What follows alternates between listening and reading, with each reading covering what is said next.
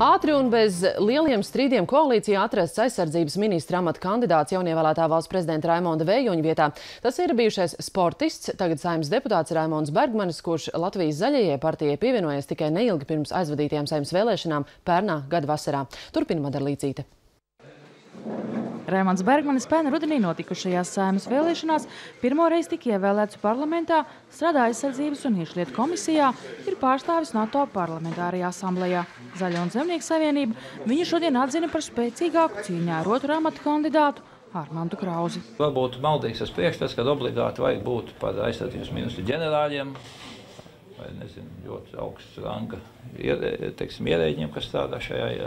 Es domāju, ka, un arī pārējie kolēģi domā, ka eh, primārais ir pārzināt šo sistēmu absolūti, jā, lai būtu pilnīgs iespējas. Un, un, un otra lieta, es, man nav ne mazākā šauba, kad eh, Bergmaņa eh, kungs ar savām komunikācijas spējām un attieksmi pret savu profesionālu attieksmi pret darbu visnotaļ būs cienīgs šī amata kandidāts. Bergmanis atzīst, ka viņam nav pieredzes vadošos amatos, taču to neuzskata par trūkumu. Jā, kad varbūt nav šīs e, pieredzes, bet kādreiz e, tik lielas. Bet e, kādreiz tas var arī būt ļoti labi, jo jūs paši saprotiet, kāda ir šī brīža situācija.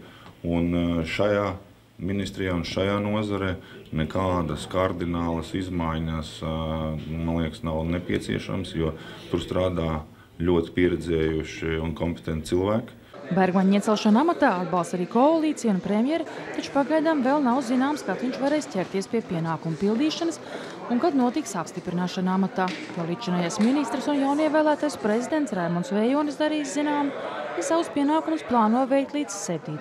jūlijam. Koalīcija savā sēdē šodien arī pārunājusi savstarpējo sadarbību un nesot iemeslu, kas liektu strādāt kopā.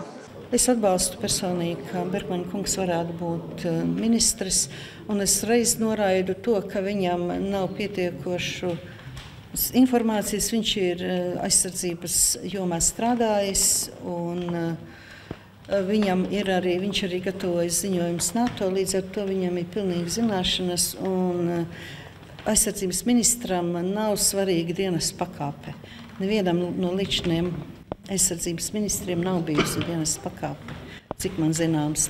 Bergmanis līdz šim sniedz palīdzīgu roku Rīgas zoodārzam vasarās iznesot ārā smagos bruņurupučus. Vaicāts, vai arī turpāk viņš piedalīsies līdzīgos pasākumos, spēku vīrs norāda, kā arī ministram var būt savi hobiji, un viņš iesaistījies, lai popularizētu zooloģisko dārzu. Adar līdzītīgaušas stāsts Latvijas televīzija.